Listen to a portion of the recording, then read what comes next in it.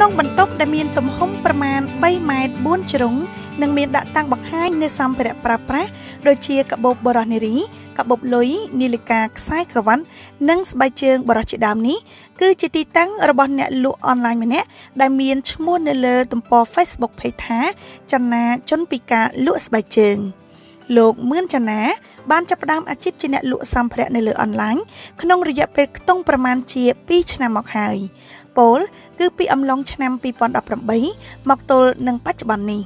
អាជីពជាអ្នកលក់អនឡាញនេះត្រូវបានលោកចាប់ផ្ដើមធ្វើឡើងបន្ទាប់ពីរូបលោកជួបនៅគ្រោះថ្នាក់ការងាររហូតខ្លាចខ្លួនជាជនពិការភាពក្នុងអំឡុងឆ្នាំ2016អឺពីការតាំងពីឆ្នាំ2016ខែ7ឆ្នាំ2016អញ្ចឹងមកគិតពីឥឡូវទៅវាជិតនឹង4 4ឆ្នាំហើយ បើសិនជាខែ7វិញគឺ4ឆ្នាំហើយប៉ុន្តែអឺខ្ញុំពិការហ្នឹងគឺពិការដោយសារតែគ្រោះថ្នាក់ឆក់ខ្សែភ្លើងគឺអឺដោយសារតែខ្ញុំធ្វើជាជាងផ្សារដែកនៅពេលហ្នឹងគឺមានភ្លៀងមានរលំស្រិចស្រិចអញ្ចឹងតែមេជាងអីគាត់ចេះតែប្រើឲ្យឡើងអញ្ចឹងយើងឡើងទៅធ្វើឲ្យឆ្លងចរន្តអគិសនីហ្នឹងឆក់ខ្សែភ្លើងទៅបង បន្ទាប់ពីคล้ายខ្លួនទៅជាជនមានពិការភាពភ្លាមភ្លាមផ្លូវតាមយ៉ាងកត់ដែលលោកគិតឃើញនោះគឺសេចក្តីស្លាប់តែមូលហេតុចម្បងដែលធ្វើឲ្យបរិះដែលមានមៀតមមតមរូបនេះអាចបន្តជីវិតរស់នៅបានគឺដោយសារតែមានការជំរុញលើកទឹកចិត្តពីសំណាក់មនុស្សជុំវិញខ្លួនពិសេសពីសំណាក់គ្រួសារ លោកបានសម្រេចចិត្តទៅចូលរួមសកម្មភាពជាមួយអង្គការក្រៅរដ្ឋាភិបាលមួយ ដែលមានបេសកកម្មជួយជំរុញលើកទឹកចិត្តទៅដល់ជនពិការអាចស្វែងរកការងារធ្វើបានហើយអាជីពការងារដែលលោកបានចាប់ផ្ដើមយកដំបូងគេ គឺជាអ្នកលក់លេនៅលើអនឡាញបន្ទាប់មកលក់ស្បែកជើងផ្ទាត់ និងបន្តមកទៀតជាអ្នកលក់សម្ភារៈប្រើប្រាស់ទូទៅដោយបច្ចុប្បន្នតែម្ដងបាទបងសម្រាប់ពេលហ្នឹងគឺអឺពេលហ្នឹងគឺពេទ្យជួយសង្គ្រោះ លក្ខណៈដែលពេលជួយសង្គ្រោះហ្នឹងគឺគាត់វះគឺគាត់វះស្នាមឆ្នោតហ្នឹងគឺសិតតែពេទ្យវះគាត់ជួយសង្គ្រោះបង្ហូរឈាមអឺ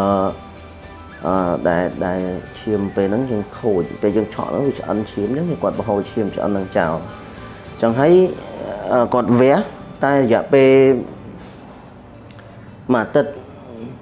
បានគាត់អឺតាមដានសង្កេតមើលថាដៃរបស់យើងគឺខូចបាត់ហើយ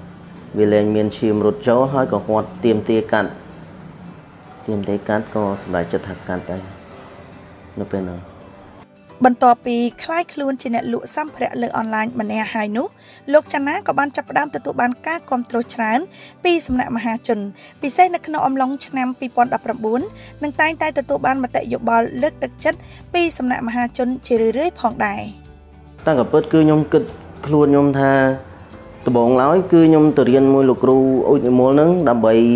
ចង់បានការងារប្រាក់ខែធ្វើឯងដោយសារតែពេលហ្នឹងគឺខ្ញុំចង់បានការងារប្រាក់ខែប៉ុន្តែយើងគិតទៅមើលតម្រូវខ្លួនយើងផងថាយើងអាចធ្វើអ្វីបានខ្លះអញ្ចឹងនៅពេលដែលខ្ញុំពិការដៃទាំងពីរបែបនេះគឺខ្ញុំមិនអាចធ្វើអ្វីក្រៅពីអឺអឺបើសិនជាសន្តិសុខខ្ញុំអាចធ្វើបានប៉ុន្តែមានអឺ សន្តិសុខក៏មានភាកតិចដែរតែគាត់ជ្រើសរើសជនពិការដែលយកយកទៅធ្វើការណាអញ្ចឹងអឺខ្ញុំខ្ញុំក៏គិតខ្លួនឯងថាខ្ញុំអត់មានអីធ្វើក្រៅពីការងារលក់ដូរហើយសម័យឥឡូវគឺជាសម័យអឺចែកទេសជឿនលឿនអញ្ចឹងខ្ញុំអាចលក់ដូរតាមប្រព័ន្ធទូរស័ព្ទតាមប្រព័ន្ធអ៊ីនធឺណិតនឹងបានអញ្ចឹងហើយក៏ខ្ញុំសម្រេចចិត្តថាខ្ញុំលក់អីវ៉ាន់នៅតាមអនឡាញហ្នឹងទៅ សម្រាប់អឺការលក់អីវ៉ាន់ស្បែកជើងមិនថាស្បែកជើងប៊ូមិនថាអឺស្បែកជើងផ្ទាន់ដែលខ្ញុំលក់ពីមុនគឺមានអ្នកគ្រប់គ្រងច្រើនមានគ្រប់គ្រងពីសំណាក់បងប្អូនច្រើន គឺគាត់អឺបានជួយឡាជួយ share ច្រើនចឹងធ្វើឲ្យការលក់ខ្ញុំមានសន្ទុះខ្លាំងដែរនៅក្នុងឆ្នាំ2019បាទ យើងអាចព្យាករបានយ៉ាងថាហេតុអ្វីបានជាមានការគ្រប់គ្រងច្រើនពីមហាជនអឺតាំងពីខ្ញុំអត់អឺអត់ដឹងដែរថាពីការគ្រប់គ្រងហ្នឹងគាត់គ្រប់គ្រងឲ្យស្អីប៉ុន្តែខ្ញុំតែងតែនិយាយជាមួយនឹងអតិថិជននៅពេលដែលខ្ញុំ live វីដេអូថាអឺខ្ញុំសុខចិត្តបដិញ្ញាចិត្តថាមិនអឺមិនចុះចាញ់នឹងហើយអតិថិជនគាត់តែងតែ comment តែងតែ comment លើកទឹកចិត្ត comment អឺឲ្យផ្ដល់កម្លាំងចិត្តដល់យើងអញ្ចឹងហើយខ្ញុំខ្ញុំក៏ឆ្លើយទៅចំពោះគាត់វិញថាអឺខ្ញុំនឹងខំប្រឹងប្រែងតស៊ូព្យាយាមលុះលុះត្រាតែដង្ហើមចុងក្រោយខ្ញុំហត់បាទ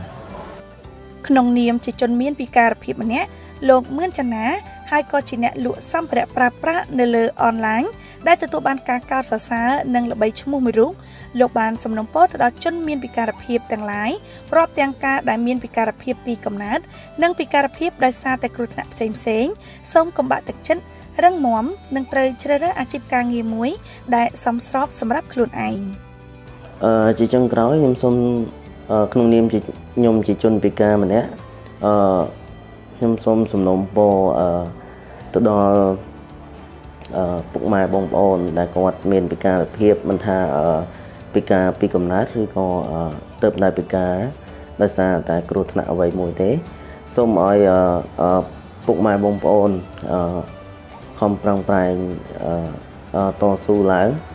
ព្យាយាមហើយអឺអឺត្រូវតែជ្រើសរើស នៅការងារអ្វីមួយដែលខ្លួនឯងអាចធ្វើបានមិនថាការងារអ្វីទេ គឺឲ្យតែខ្លួនឯងអាចធ្វើបានគឺយើងអឺត្រូវតែខំប្រឹងព្យាយាមតស៊ូអត់ធ្មត់ឡើយ